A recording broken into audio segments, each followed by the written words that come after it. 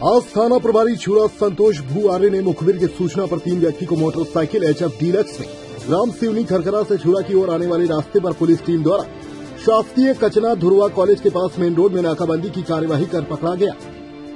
पकड़े गए व्यक्तियों के नाम विमल कोसरिया, निवासी पेंड्रा, गजेंद्र बघेल, निवासी रुआ, मुरली ओगरे, निवासी सिवनी का होना बताया गया, जिसकी तलाशी लिए जाने पर आरोपियों के पास से पाँच सौ रुपये के नकली नोट, बाईस नग एक मोटरसाइकिल तीन मोबाइल फ़ोन जब्त कर आरोपियों को हिरासत में लिया गया है और आगे विवेचना जारी है। सर आज जो तीन आरोपियों की गिरफ्तारी हुई है उनको कहाँ से और किस प्रकार पकड़ा गया सर?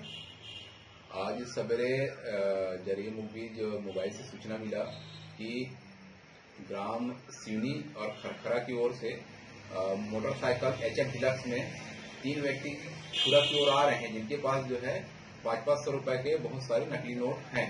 इस सूचना पर मेरे द्वारा जो है श्रीमान पुलिस अधीक्षक महोदय को अवगत कराकर हमराज स्टाफ लेकर तुरंत कचना ध्रुवा कॉलेज के सामने मेन रोड में नाकाबंदी कार्रवाई की गई।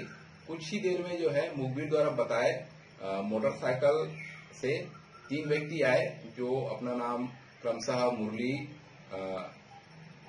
विमल और गजेंद्र बताए और इनके जो पूछताछ के बाद जो है तलाशी ली गई। तो इनसे तीनों से कुल बाईस पाँच पाँच सौ के नकली नोट प्राप्त हुए जो जब्त कर पुलिस द्वारा वैधानिक कार्रवाई की गई। अभी इनको जेल भेज दिया गया सर? हाँ इनको जो है न्यायालय रवाना कर दिया गया है। क्या आज कितने बजे की घटना है सर? ये सुबह लगभग साढ़े आठ बजे की घटना है।